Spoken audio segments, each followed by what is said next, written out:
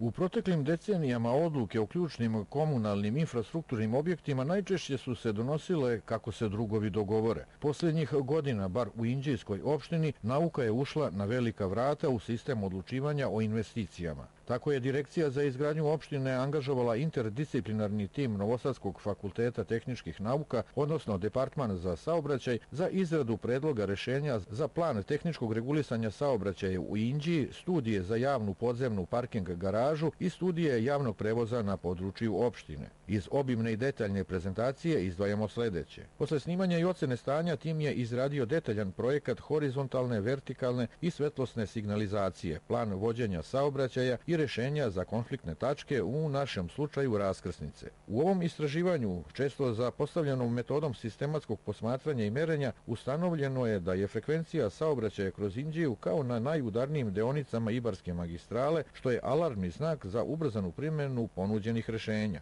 Ono što će obradovati kako poklonike zdravog života, tako i one koji nemaju para za automobil ili benzin, sigurno je i segment izgradnje biciklističke staze. Studija u izgradnji javne podzemne parking garaže, pored tehničkih projekcija, sadrži i pod studiju opravdanosti, što uključuje i ekonomsku rentabilnost. Zato se predlaže izgradnja u dve faze ukupnog kapaciteta od 519 parking mesta u dve etaže. Prva faza imala bi 197 mesta i nalazila bi se ispod parkinga do tehničke škole i parka. Na osnovu sadašnjeg stanja, ekonomsku opravdanost ima u optimističkoj varijanti i sa ukidanjem znatnog broja sadašnjih nadzemnih parking mesta, fazna izgradnja podzemnih parking garaža 2011. prva, a za 13 godina druga garaža. Efekti naučnog pristupa komunalnim otvorenim pitanjima pitanjima posebno su se iskazali u studiji javnog prevoza na području opštine. Naravno, opet je temelj inovativnim rešenjima istraživanje. Polazni cilj bio je da se sa najnižim troškovima ostvari najviši kvalitet,